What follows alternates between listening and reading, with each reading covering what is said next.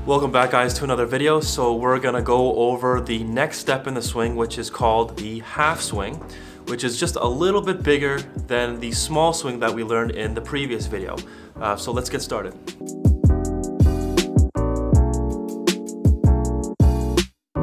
And if you like this video, please give it a like and just remember to subscribe if you wanna see more. So compared to the small swing, which we know is waist high to waist high, now the half swing is about when the left arm gets parallel with the ground in the backswing to when the right arm gets parallel with the ground in the follow through.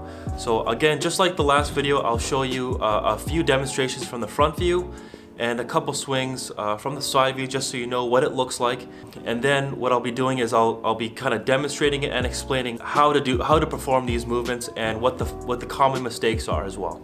From uh, the front view, there's a couple things that are really key for a lot of beginners to understand. So the first thing would be to understand how to properly hinge the wrists or set the club um, so that your left arm and the club is about at 90 degrees uh, approximately.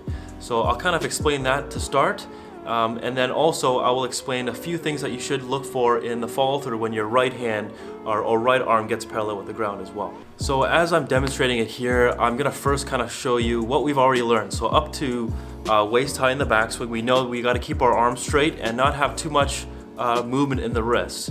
Okay, so but to continue the swing on to the next step, we have to hinge the wrist or, or break the wrist just so that the club head can get above the hands um, and at, at uh, chest height, or when the left arm is about parallel with the ground, you can see that the club and the arm is approximately at 90 degrees. Um, also, um, we know that from step one, we gotta keep our arms straight, but to bring the club up higher, it's okay for you to uh, break the right arm just, just ever so slightly because it'll be very uncomfortable if you try to lock out your arms um, up to this point as well. So from step one to step two, keep the left arm straight, but the right arm can bend a little bit, and you gotta break the wrist just to bring the club uh, to about 90 degrees with the left arm. Okay, so just to explain it um, as I'm doing it here, so to step one, we know that arm stays straight, up to about waist high, okay? And then from here to step two, you just wanna make sure that you hinge the wrist the, so that the club is about close to 90 degrees with the left arm. Okay, and if I take my left hand off, you can see that my right arm is a little bit bent um, because if I try to keep my arm straight, it'd be very, very difficult for me to, to raise my arm and feel very, very uncomfortable. So the other thing to keep in mind as well as you're moving from step one to step two is you want to continue to rotate your body um, uh, up to that point. You don't want to stop your body at all and just keep the arms moving because um, then it'll also make it harder for you to keep your left arm straight. For the follow through position in step two, there's really three things um, that you want to ensure that you, you're doing mainly. Okay, so the first is you want to keep your weight on your left side head is still mostly behind or to the right of the golf ball, right? We don't want the weight and the head to kind of move too far left or ahead of the ball at this point. And the second point is that you want to keep both the right arm and the left arm straight uh, through impact at this point. And I know in the, in the way back we talked about the right arm being um, a little bit bent, but after impact you want to ensure that both arms are extended. Um, the, the third is that you want to make sure that the right hand kind of rolls over top of the left hand just to ensure that the club face continues to close um, through impact. For the follow through, um, if I just first demonstrate again, step one, right? It's right here. So we established that in the follow through for step one, your weight has to be on your left side, right? Your head does not move and my arms are straight, okay? So step one follow through should look like this. Okay, so now step two uh, in the follow through kind of looks like this. So it's basically the same thing, just your arms have gone a little bit higher up to, the, to where the right arm is parallel with the ground.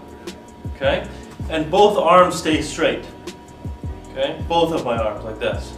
So now the only thing to consider here is that when I go into my step two position, my right hand kind of rolls over top of my left hand. You see that? So it doesn't stay kind of on the bottom like this, which is a very common mistake for beginners. Okay? So from step two, you can see my hands kind of rolling over top of my left hand, okay? And all that really does is when I roll my left right hand over my left hand, you see how that closes the club?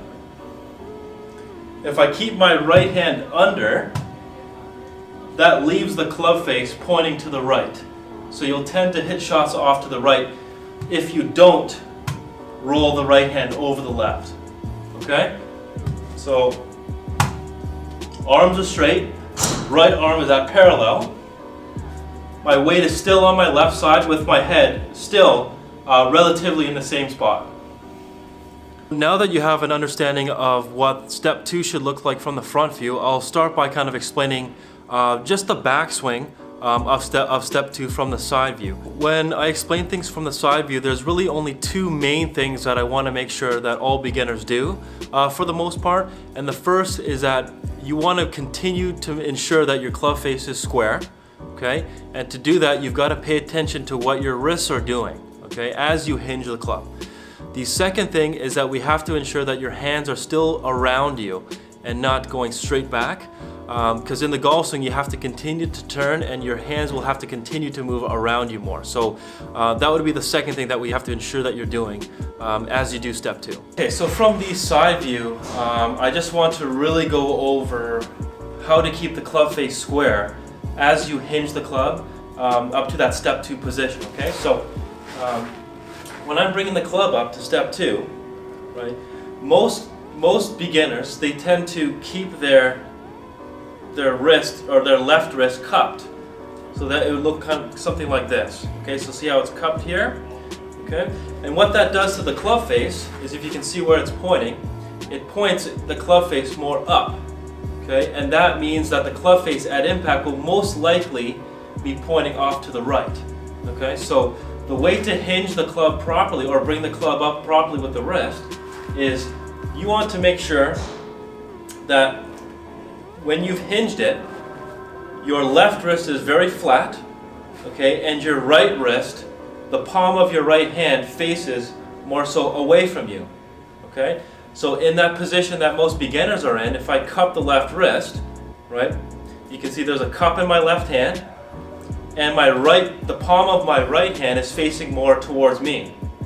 Okay? So we have to ensure that by the time your uh, left arm is up, up, up, parallel with the ground, left wrist is flat, and right wrist, or the palm of the right hand, faces more away from you. Okay? So that'll keep the club face a bit more square or pointing towards this, to the camera you guys. Whereas when the club face is more open, the club will kind of be pointing more up. Okay? So we know that in the step one, the face is a little bit down. Okay, so when we hinge it, it should look more like this. The uh, second point from the side view is just to ensure that your hands are still behind your body enough. Okay? So most beginners, what they tend to do is when they take the club back, their hands stay very much in front of their bodies over here okay, when they hinge the club, okay? And that's because most people have the idea that you've got to swing the club straight back and straight through, okay? But since the golf swing, you're turning, your hands have to continue to move around you, okay? So by the time you're at step two, you see how my hands are a bit more behind my body at this point, okay? So if you look at my left arm, my left arm is not straight okay, it's actually angled a little bit more across my chest, okay? So I, we know that from step one, we talked about the hands going around you at the start. So now when you hinge the club up, right, my hands will still be more so kind of over, over top of my right pocket, okay, when, when I'm in this position here, okay? So that's the, a really, really important point um, that will that will set you up to learn how to swing the club down into the ball correctly later on. Thank you so much for watching. I hope that gave you some insight as to how to make the swing a little bit bigger than the last time um, and to help you kind of learn what it's like to have a half of a swing. So in the next video, uh, this will be the last episode in the beginner series just because at this point you'll have a good understanding or a general idea um, of how to make a full swing.